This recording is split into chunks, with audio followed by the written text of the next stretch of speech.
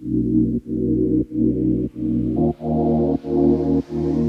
The graduate schools, our program provides research methodology that is a signature program. They get a taste of what research is and what kind of research they would like to pursue. So you either have to go to BioMarin, the Buck Institute, or get picked up by a PI here.